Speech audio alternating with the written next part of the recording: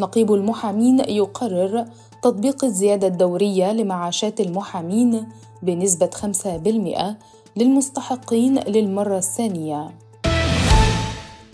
نقيب المحامين يقرر صرف 500 جنيه منحة استثنائية للمستحقين للمعاشات بمناسبة عيد الميلاد المجيد. استجابة للسادة المحامين النقيب العام يقرر زيادة ساعات العمل بالنقابات الفرعية ذات الكثافة العالية خلال فترة تجديد كرنيهات العضوية واستخراج البطاقة العلاجية. نقيب المحامين يعقد لقاء مفتوحا مع محامي الأقصر ويشهد جلسة حلف يمين قانونية للأعضاء الجدد بالفرعية. النقيب العام يجري جولة تفقدية لغرف المحامين بمجمع محاكم الأقصر.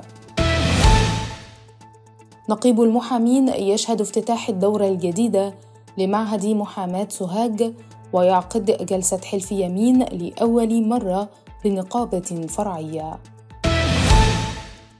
نقيب المحامين يلتقي محافظ سوهاج لبحث حل أزمة مقر النقابة الفرعية. النقيب العام يفتتح استراحة المحامين بطمة ويؤكد نقوم بتنقية الجداول وفقا لضوابط حددها قانون المحاماة. نقيب المحامين والمحافظ يضعان حجر الأساس لنادي محامي سوهاج. رئيس مدينة سوهاج الجديدة نادي المحامين في أفضل المناطق بالمدينة. محافظ سوهاج مستعد لتقديم كافة أوجه الدعم لنقابة المحامين. نقيب المحامين يفتتح نادي المحامين بقفط بقنا ويعقد جلسة حلف يمين للأعضاء الجدد بالفرعية. النقيب العام يجري جولة تفقدية لغرف المحامين بمحكمة قنا ويستقبل رئيس المحكمة بداخل استراحة المحامين.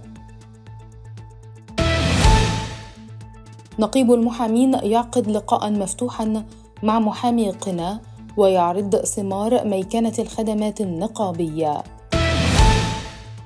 نقيب المحامين يفتتح استراحتي قفط وقوس بقنا. نقيب المحامين يشارك في قداس عيد الميلاد بالعاصمة الإدارية الجديدة.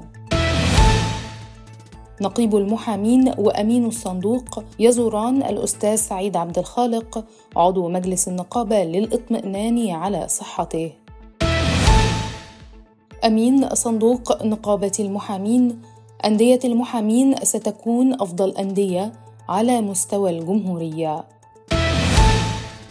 برعاية نقيب المحامين الأستاذ عبد الحليم علام انطلاق محاضرات المرحلة القانونية من دورة مساند ومقررات لجنة المرأة تعلن عن إنشاء لجنة لدعم ذوي الإعاقة من الصم والبكم.